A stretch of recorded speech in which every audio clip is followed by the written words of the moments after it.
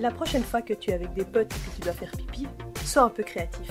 Lève-toi et dis-leur que tu dois maintenant subir une miction. Une miction.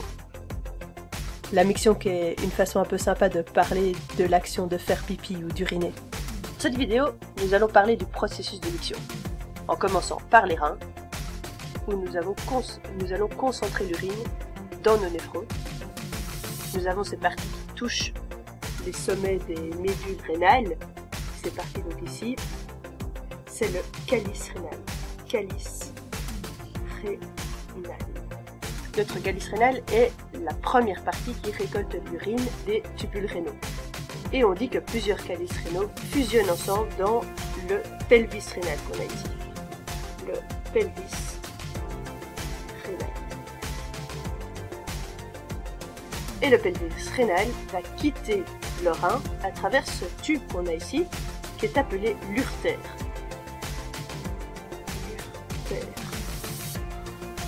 Et qu'on a donc de chaque côté. On a donc deux urtères, et les urtères conduisent ensuite l'urine vers le bas, ici, jusqu'à arriver dans la vessie. Et ils arrivent à la vessie par l'arrière, donc par le côté postérieur.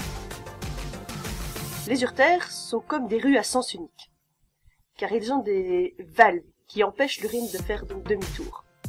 Il y a cependant une exception à cela et je t'encourage à réfléchir à ce qui pourrait bien arriver si l'urine va dans le sens euh, retour au lieu d'aller vers la sortie, et donc vers la toilette. Nous allons en parler un peu plus tard dans la vidéo. pour le moment donc, l'urine arrive dans la vessie dessinée juste ici, et on peut la voir de face comme ici, mais ça peut être intéressant de l'observer de côté. Donc on va la dessiner ici avec le haut par là, notre partie avant ici, la partie postérieure là et le bas ici en dessous. Et en observant de cette manière-là, ça va ressembler à quelque chose comme ça. Donc on a le haut, une sorte de courbure comme ça. Et de l'autre côté, on a d'abord un petit truc pointu, et puis notre courbure. Voilà à quoi ça ressemble. Et puis on peut dessiner nos urtères qui arrivent donc par ici. Bien du côté postérieur. Et ce qui est assez marrant, c'est que cette vessie est doublée de quelque chose qu'on appelle l'épithélium transitionnel. L'épithélium, donc c'est doublé par ici, épithélium transitionnel. Transitionnel. Peut-être que tu as déjà entendu parler de l'épithélium pavimenteux, qui en fait sont juste des cellules épithéliales plates, ou de l'épithélium cylindrique, qui sont des cellules plus grandes.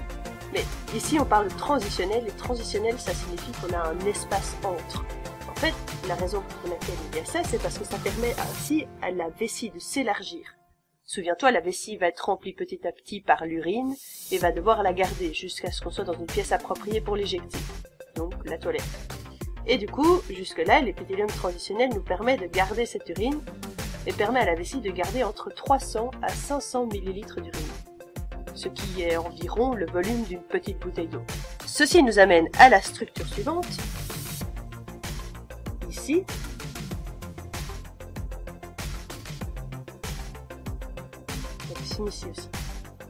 Cette dernière partie de nos voies urinaires s'appelle l'urètre. On n'a pas juste une fuite de la vessie qui va s'écouler dans l'urètre pour arriver dans les toilettes. On a effectivement un certain contrôle ici à l'embouchure.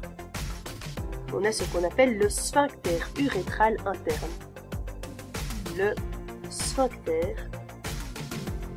sphincter urétral, urétral puisque c'est ça entoure l'urètre et interne, à l'intérieur encore de la vessie. Et donc c'est un cercle de muscles qui n'est pas sous notre contrôle.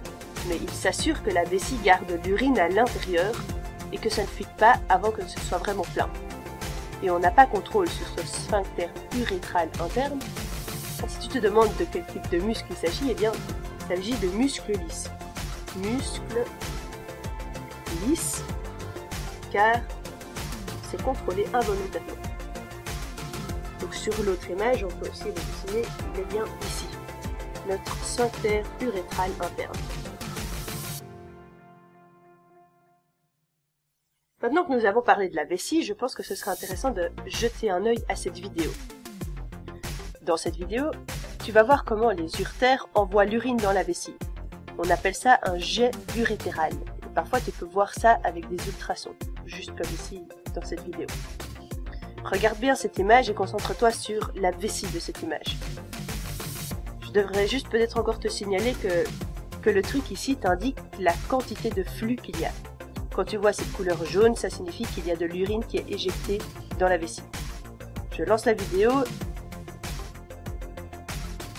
Et tu vois, on a un jet. Et quand il s'arrête, on a beaucoup de chance de voir un autre jet, qui vient du coup de l'autre urtère, jusque dans notre vessie. Retournons maintenant à ce dessin que nous avons juste ici. On peut se concentrer sur ce qui se passe quand l'urine quitte la vessie pour aller dans l'urètre. L'urètre, va conduire l'urine donc vers le monde extérieur. Et c'est l'organe que nous utilisons pour évacuer notre urine, pour pisser. Mais le chemin de la vessie aux toilettes est différent si nous parlons d'une femme ou d'un homme. On va dessiner maintenant la vessie d'une femme. On a donc notre vessie, la vessie c'est similaire.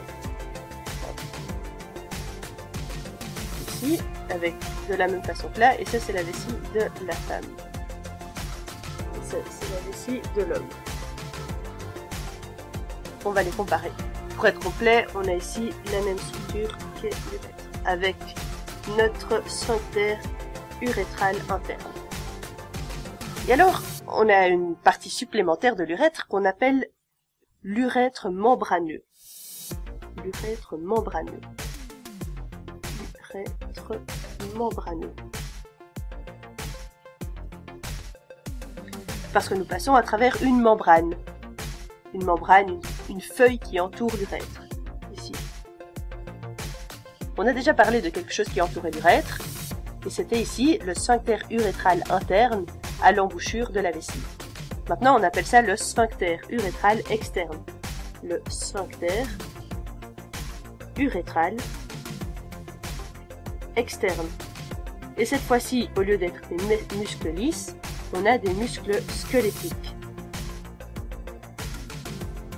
Ça veut donc dire que cette fois-ci, on a contrôle sur ces muscles. C'est ce qu'on apprend à contrôler quand enfant on fait pipi sur le pot. Alors pour les hommes, c'est un peu différent. On va pas directement à travers le sphincter urétral externe, on a d'abord une partie qui s'appelle l'urètre prostatique. Première partie ici, urètre prostatique car on passe à travers un organe qui s'appelle la prostate. Ce n'est pas directement lié au système urinaire, mais il entoure l'urètre juste ici. Et après l'urètre prostatique, on a l'urètre membraneux. Membraneux comme chez la femme. Donc notre sphincter urétral externe que nous pouvons contrôler. On a donc de nouveau cette feuille, cette membrane autour de l'urètre de muscles squelettiques. Et puis de là, on arrive à ce qu'on appelle l'urètre spongieux. L'urètre spongieux. Qui est en fait la partie de l'urètre qui se trouve dans le pénis. Et après ça, enfin, l'urine quitte le corps et se trouve donc dans le monde extérieur. Comme tu l'as peut-être remarqué, les femmes n'ont pas d'urètre spongieux. Donc après l'urètre membraneux, on a en fait plus qu'un tout petit tuyau. Ça va être en fait très petit comparé à celui de l'homme. Donc la connexion vers le monde extérieur est beaucoup plus directe chez les femmes que chez les hommes. Ceci nous ramène à ce dont on a parlé au début par rapport au trajet retour de l'urine. Donc on s'assure que les valves de nos urtères, ici, permettent à l'urine d'aller dans une unique direction, jusque dans la vessie, et puis après jusqu'à l'extérieur. Si on n'a pas de valve et qu'on a un flux dans le sens opposé, qu'est-ce qui peut se passer? Eh bien, on va avoir une stase. L'urine va rester ici, ou même peut-être dans les reins pour une plus longue période. Et ça, ça peut être problématique. Particulièrement parce que nous sommes ici en contact avec l'environnement extérieur. Et donc, et dans l'environnement extérieur, tu sais qu'il existe des choses comme des bactéries, des virus, des champignons, et que tout ça peut causer des infections. Donc si on a une stase urinaire, on aura un plus grand risque d'infection. Et en effet, l'une des fonctions du flux urinaire est d'expulser les bactéries pour rendre leur entrée depuis le monde extérieur vers l'urètre plus difficile. Donc on a un plus grand risque d'infection si on a un flux retour et également si on a un urètre plus petit, ce qui est le cas des femmes. C'est pourquoi les femmes ont plus souvent des infections urinaires que les hommes. Tout ceci étant dit, l'urine sort de notre corps par tout ce chemin, arrive dans les toilettes et ainsi on se débarrasse des déchets que nous avons faits dans notre corps et qu'on a filtrés et concentrés dans nos reins